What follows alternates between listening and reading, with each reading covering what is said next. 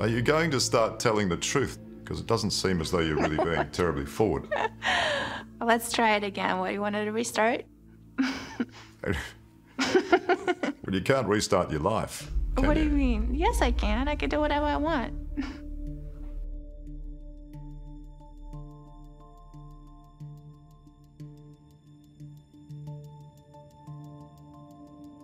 I don't see myself exactly as a ladder climber.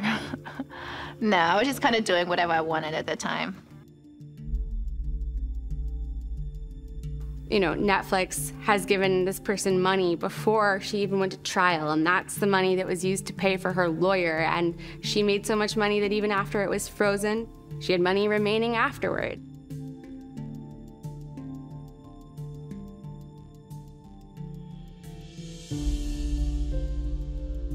So you're in the middle of a trial, a, tr- a grand larceny trial, and here's all these Hollywood producers and publishers sitting in the trial and all these things going on behind the scenes. It's, uh, it's almost a reality TV show in itself, isn't it?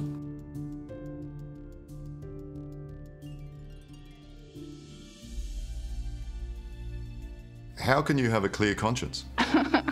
How could I not? Explain that to me. what, do you, what do you want me to explain? I just don't feel guilty, and that's it. There isn't much to explain.